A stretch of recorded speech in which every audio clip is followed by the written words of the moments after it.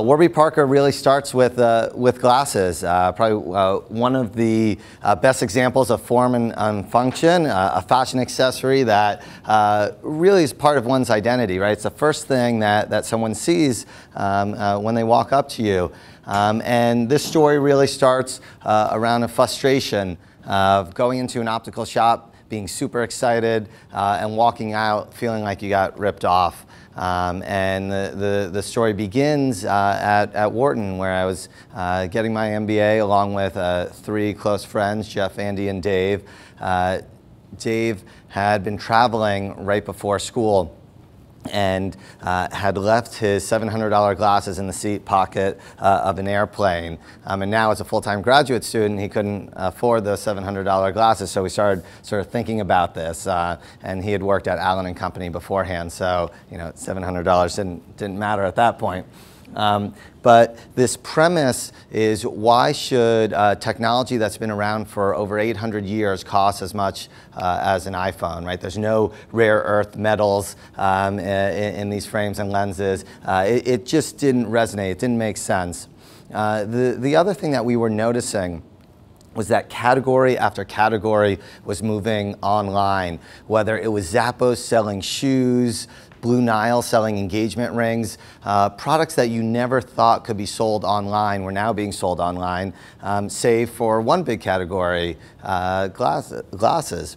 So the sort of light bulb went off where there could be this amazing opportunity for us to uh, design the glasses that we love and then sell directly to consumers online um, because it's just right. Every single category uh, at, the time was just moving larger and larger. And you look at apparel and accessories, right? At the time was uh, upwards of 15% of the total market. So it seemed like there was this massive opportunity. And eyewear is a massive category. It's about 100 billion dollars a year globally, uh, 30 billion alone in the U.S. Um, and and at the time, uh, eyewear had less than 1% were sold uh, online. Now, um, when you buy a pair of glasses, you might buy a pair of Ray-Bans or Oakleys or Oliver Peoples, right? The, these are probably the most famous uh, eyewear-only brands. Uh, or you might buy uh, a fashion brand like Prada or Chanel, uh, Dolce Gabbana, um, which uh, are often licensed to a third party that designs it and distributes it. You may go to a big chain store to, to purchase those glasses, like LensCrafters or Sunglass Hut, uh, Pearle Vision, uh, and you may use eye ins- uh, vision insurance. So EyeMed is the second largest vision insurance company in the world. What most people don't realize is that this entire ecosystem is uh, owned by one company, Luxottica, uh, publicly traded, co-listed on the Milan and New York stock exchanges. Uh, I think right now it's got a market cap of like $28 billion. Um, so when you go into a LensCrafters, you have this illusion of choice that you have these 40 different brands, but they're all being designed, manufactured, and distributed by the same company. So we saw this interesting industry dynamic and then it clicked like okay well that's why glasses uh, are, are so expensive um, and thought that there was this opportunity to, to really create change um, in, in the industry. Now the question is how do you go about doing that? And you know i think the the best uh, sort of organizational journeys are, are ones that are constantly de-risking uh, the, a, process um, where uh, you're trying to invest as little time and money into an idea uh, before you realize that it actually um, is going to be successful. So here, Jeff, Andy, Dave, and I were at business school, um, and we were trying to figure out, okay, well, we have this idea. Um, it's actually one that is, you know, we're, we're not able to sleep because we're thinking about it constantly, and, and that's when you know that sort of your, your heart's in it. Uh, but what do we need to do to actually test this thing? Uh, and of course, we would ask uh, our friends, like, hey, what do you think of this idea? And most of the time, everyone's like, you guys are crazy idiots. Um, but uh, you, at some point, you have the confidence to continue to move forward. And, and we felt that this was strong enough an idea that we should uh, pursue it. And then it was, well, what's the minimum required that we need to do? And it's, well, we needed product to sell, so we designed our first collection of 27 shapes in uh, two to three colors each. We needed to build a website um, and, and, this was interesting because the four of us uh, didn't have any technical expertise, uh, but we would literally uh, create wireframes of each individual web page on a PowerPoint. And then we'd print it out and go up to our, our friends and say, hey, this is a home page. What button would you press? Oh, this is the gallery page. What button would you press? And so our user testing was literally using you know, printed out uh, prototypes we decided that it was going to be sort of critical for us to remove any barrier to, to entry, to, to sort of purchase uh, this pair of glasses, because that's the one feedback that we kept getting time and time again is like, how am I going to buy glasses online? You know, you want to touch and, and, and feel them. So um, we thought, okay, well, we're uh, going to be selling online, so we're building a tech company. There's got to be some technological solution out there. Uh, so we found this facial recognition software where you could upload your photo and virtually try on your glasses. And this is actually Dave, my, my co-founder and, and co-CEO. I sort of never travel anywhere without him. Um, and, and we thought that this was really interesting technology, but when we would uh, test it ourselves, we found that it actually didn't give us necessarily the confidence to sort of really purchase just by using this. Um, and, and that was one of those sort of come to Jesus moments where it's like, is this actually going to work? Because this is not necessarily, you know, the right thing that's going to instill the level of confidence required for someone to give a credit card and, and sort of wait for this health product to, to arrive.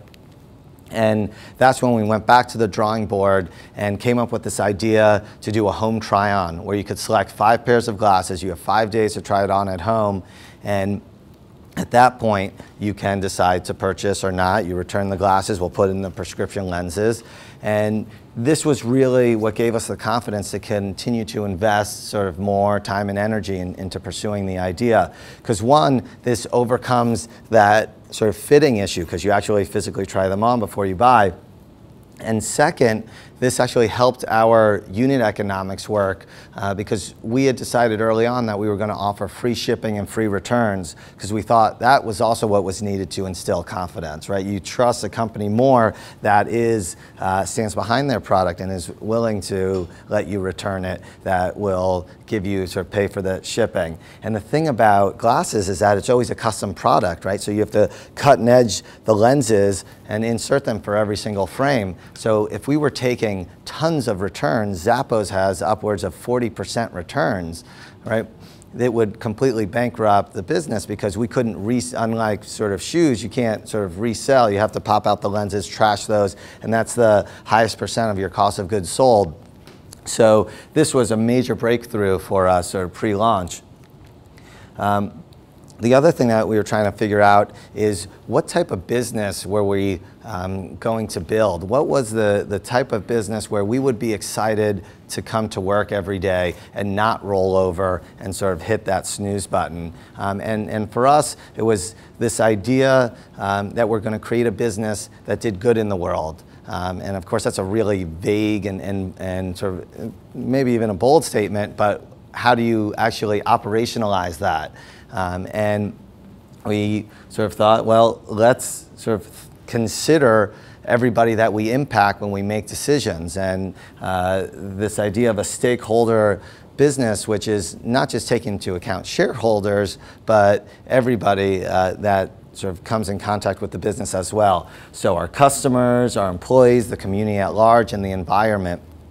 From a customer perspective, um, it was about uh, just creating exceptional experiences and providing uh, transparent and uh, appropriate pricing. So $95 instead of 500. Uh, a, a funny story there is that we actually at one point thought that we could charge $45 um, for a $500 product. And we went, um, again, at the time we were uh, at, at graduate school, and we went to the head of the marketing department at Wharton, who is a, a pricing expert, uh, Professor Raju.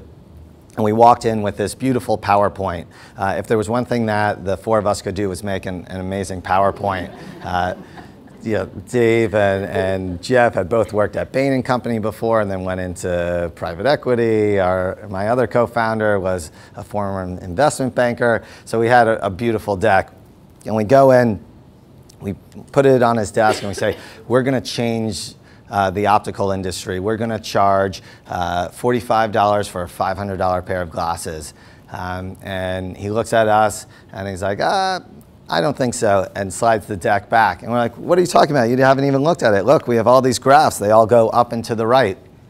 And he, he turns out to us and he says, at $45, one tenth of the price of what a normal person would pay, you're outside of the realm of believability. Nobody will have confidence in your product.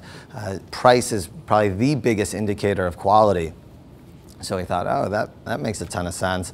And then he said, and whatever you're projecting your cost of goods to be, it's going to increase, it's probably going to double, and you're going to have no gross margin with to run the business or to market to people and to let people know that you even exist. So, you know, we walked out of that meeting pretty deflated, um, but uh, we mocked up a, a homepage uh, and just what we did was we created a survey uh, with the only difference was a price and we created, we got several hundred people and we created random groups and random samples and we sent them surveys uh, with different pricing on it and asked a very simple question how likely are you to purchase this pair of glasses and we actually found that the willingness to purchase increased uh, up until about $100 uh, at which point it plateaued and eventually came down uh, and sure enough, Professor Raju was right, right? The, the price was a big indicator uh, of quality. And we decided to price at 95 because we thought 99 sounded too discounty and cheap. Even though we were providing a, a, a product for a fraction of the price, we still wanted it to be aspirational. Um, and this was uh, hopefully going to be a brand that, that inspires and also offers sort of beautiful fashion and design. The other thing is that sure enough, our cost of goods uh, doubled from what we thought it would be because when you're going through design and production process, right, every step of the way, it's really easy to say, oh, let's just add that. Uh, we want, you know, the five barrel hinges or the Teflon coated screws. Um, probably have no idea what those are, but they sound fa fancy, right? Um, and, uh, uh, and he was right. And when we launched, um, that $95 was we really view as sort of a, a, key to success, that it got sort of uh, our, our model off to the right start.